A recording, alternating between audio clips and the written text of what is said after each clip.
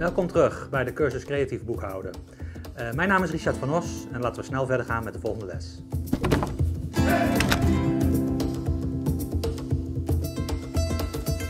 Deze les gaan we het hebben over investeringen. Wat zijn eigenlijk investeringen? We hebben in de les over de inkoopfacturen hebben gehad dat je kunt inkopen voor twee verschillende categorieën. Uh, enerzijds zijn de kosten, en de kosten waren verlaging van het eigen vermogen. En anderzijds kon je inkopen voor investeringen. En investeringen zijn eigenlijk aankopen voor lange termijn. We houden een, een tweetal criteria aan.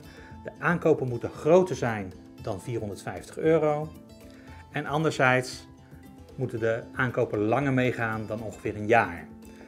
Als die twee criteria voldaan wordt, dan spreek je over investeringen. En dan boek je het dus niet gelijk weg als kosten, als verlaging van je eigen vermogen, maar dan zet je het op je balans bij de activa als zijnde een investering. Uh, we noemen die soort activa dan ook vaste activa. Voorbeeldjes zijn een auto, bedrijfsauto, muziekinstrumenten, het decor waar we in de vorige les over gehad hebben, maar ook een filmcamera, computersoftware enzovoort. Ook immateriële investeringen zoals in muziekrechten of dat soort zaken uh, kun je als investering zien.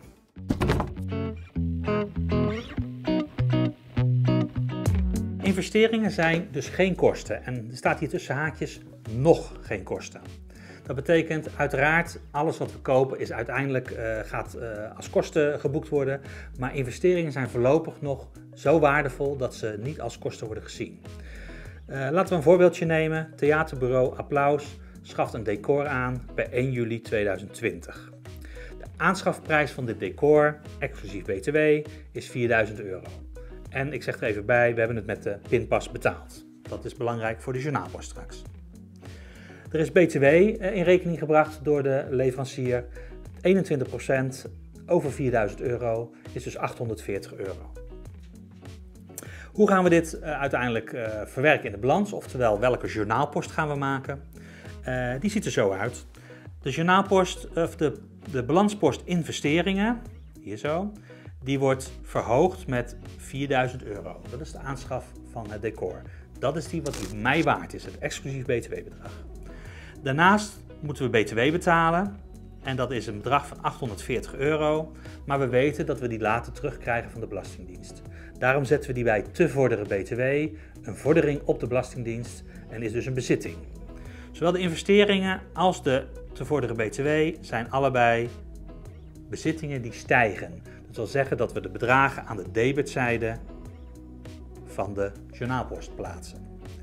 Aan de andere kant hebben we betaald met de pinpas, dus de bank, de bezitting bank, die neemt af in waarde, namelijk voor het totaal van 4840 euro. Exclusief btw-bedrag van decor plus de btw die we moeten betalen. We hebben gepind met de bankpas, dus hij is onmiddellijk van de bank afgeschreven. Dat betekent dat we de bank, bezittingbank met 4840 verminderen. Daarom staat hij aan de creditzijde van de journaalpost.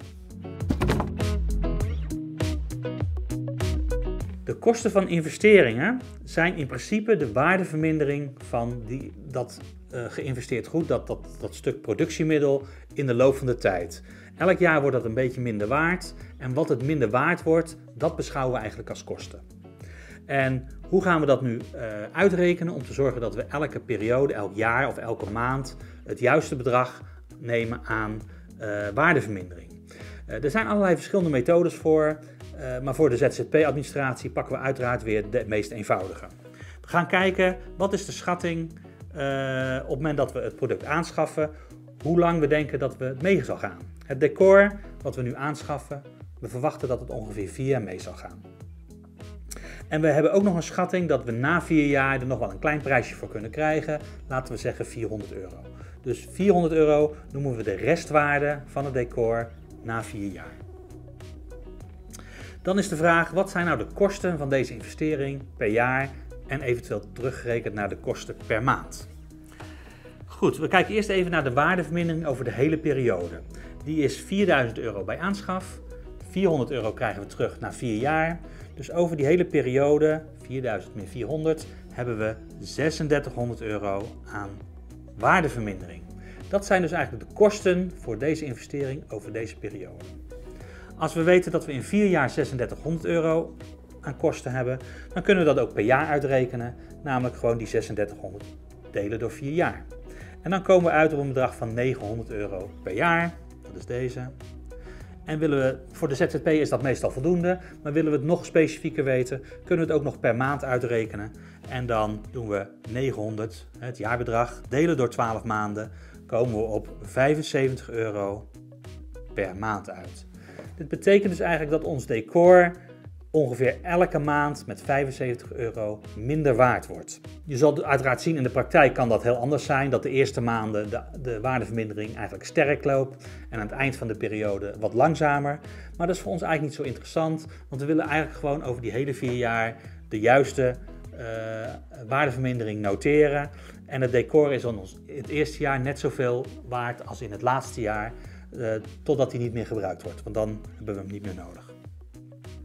Goed, die waardevermindering noemen we in de boekhouding afschrijving. Dus een afschrijving is de waardevermindering van een investering, eh, met name door middel van ouderdom en slijtage. Hoe ouder die wordt en hoe vaker die gebruikt wordt, hoe minder waard die is. En die waardevermindering, die afschrijving, dat zijn de kosten van de investering. Als we dan even gaan kijken wat we elke maand in onze administratie, dus in onze balans moeten aanpassen, oftewel wat we elke maand moeten boeken, dan kunnen we kijken naar die waarde van die afschrijving. En dat doen we weer door middel van een journaalpost. We zien hier de journaalpost voor die afschrijving. Elke maand boeken we een stukje kosten in de vorm van afschrijvingskosten. Dat is zeg maar uh, het minder worden van het eigen vermogen. En in principe compenseren we daarmee het feit dat de investeringen, je ziet hem onderaan staan, aan 140 investeringen, eveneens 75 euro, dat is de waardevermindering van de investering. De investering staat normaal als bezitting aan de debetzijde, maar omdat die afneemt, boek hem in de journaalpost aan de creditzijde.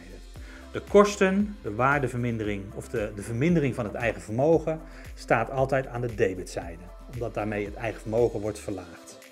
Dus deze journaalpost geeft uiteindelijk de verandering op de balans weer uh, elke maand als onze investering weer een klein beetje minder waard is geworden. Uh, als je dat één keer per jaar boekt, dan kan je dat uh, ook doen. Dan hoef je niet elke maand die 75 euro te boeken. Dan doe je dat één keer per jaar en dan boek je gelijk die 900 euro. Die elk jaar, decor in dit geval, elk jaar minder waard wordt. Dan gaan we bekijken het begrip boekwaarde. Uh, het boekwaarde is in principe de waarde, letterlijk, uh, waarvoor de investering in de boeken staat. Dat wil zeggen, de waarde die die volgens de administratie heeft. Als we even kijken naar het decor. We hebben decor aangeschaft op 1 juli 2020. Dat is precies halverwege het jaar. Dat was voor een prijs van 4000 euro. Dus op 1 juli was het decor nog 4000 euro waard. Aan het eind van het jaar, zes maanden later, is er 6 keer 75 euro aan afschrijving geboekt. Dus 6 keer 75 euro is decor in waarde gedaald. Dat betekent dat de afschrijving tot en met december 450 euro is. En dat we die van de aanschafwaarde gaan aftrekken om te kijken wat de boekwaarde is aan het einde van het jaar. En die is dus 3550 euro.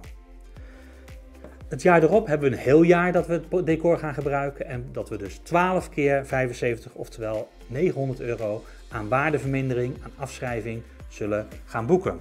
Dat betekent dat na een jaar, dus aan het einde van 2021, uh, er uiteindelijk de boekwaarde van het decor 2650 euro is.